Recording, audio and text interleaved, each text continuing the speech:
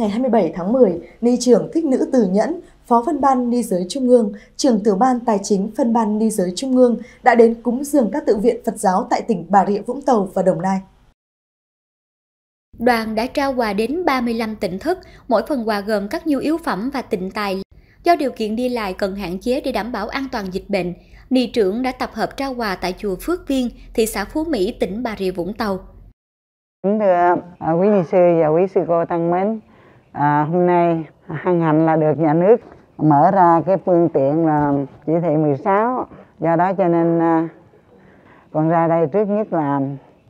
kính hầu thăm à, quý thượng tọa quý ni sư quý sư cô kính chúc quý ngài luôn luôn an lạc khỏe mạnh vững bước trên con đường thừa hành phật sự. Và đồng thời à, con cũng à, có chút xíu để mà kết duyên với quý thầy quý cô quan hỷ nhận cái, cái tâm lòng của à, của con ha chúc quý ngài luôn an lạc khỏe mạnh a di đà phật cũng trong chuyến đi này, Ni trưởng cúng dường các nhu yếu phẩm đến tu viện Phước Hải và thiền viện Viên Chiếu tại xã Phước Thái, huyện Long Thành, tỉnh Đồng Nai.